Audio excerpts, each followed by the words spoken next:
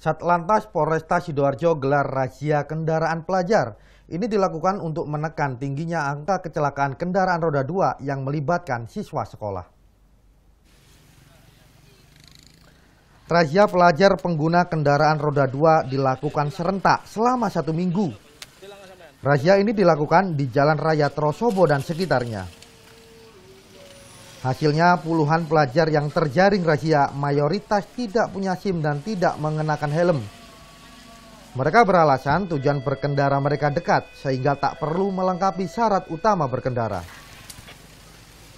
Sejumlah motor diamankan dan akan dikembalikan bila para, peraj bila para perajar terkena yang terkena sanksi membuat surat pernyataan dari orang tua untuk tidak mengulangi perbuatannya.